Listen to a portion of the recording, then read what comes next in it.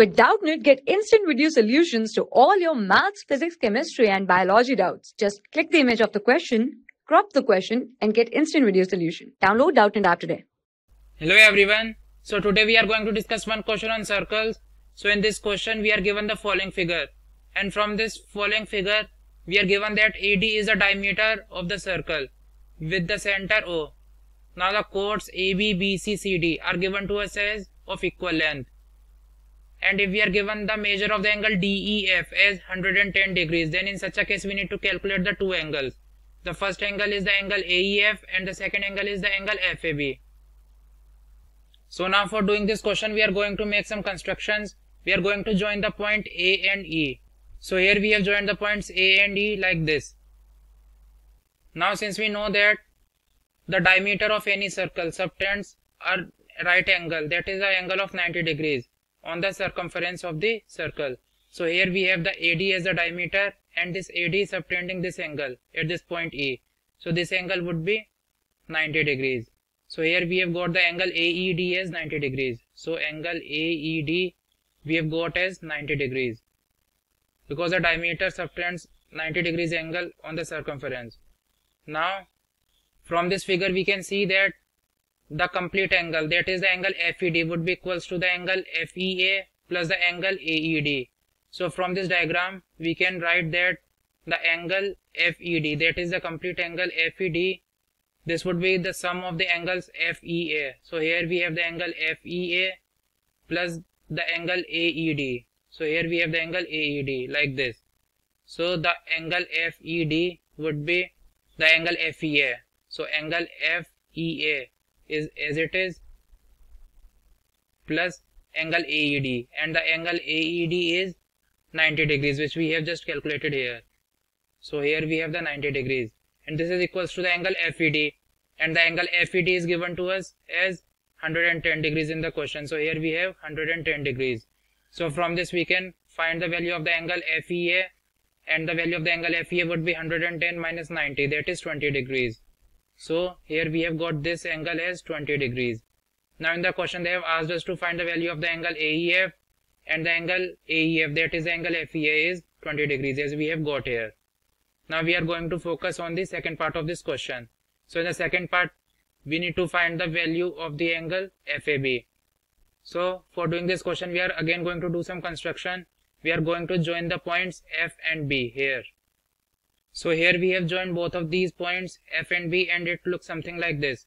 Now for doing this question, we need to find the value of the angle FAB. So from this figure we can say that the angle FAB would be equals to the angle FAD plus the angle DAB. Angle DAB. So we need to find both of these angles. It is the angle FAD and the angle DAB and if we sum them up then we get the value of the angle FAB. So let us say that this is the result 1. So now we are going to focus on finding the angle FAD. So here we have the angle FAD. Now if we consider the quadrilateral FADE then we can see that all the vertices of this quadrilateral that is the point F, point A, point D and point E.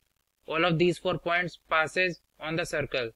Now since all of these points lie on the circle so we can say that the quadrilateral FADE is a cyclic quadrilateral. So we have concluded that the quadrilateral FADE, this quadrilateral is a cyclic quadrilateral.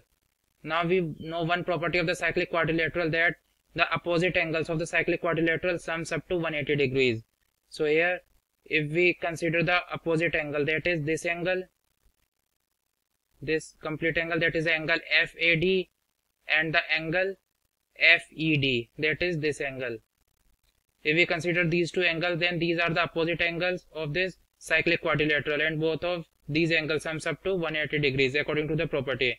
So since FADE is a cyclic quadrilateral, we can say that the angle FAD plus the angle here, the FED, this sum should be 180 degrees. So from this we can find the value of the angle FAD. So the angle FAD would be equals to the 180 minus angle FED and the angle FED would be here we have the 110 degrees. So here we have 110 degrees. And if we solve this up then we get the value of the angle FAD as 180 minus 110 that would be 70 degrees. So here we have got this angle as 70 degrees.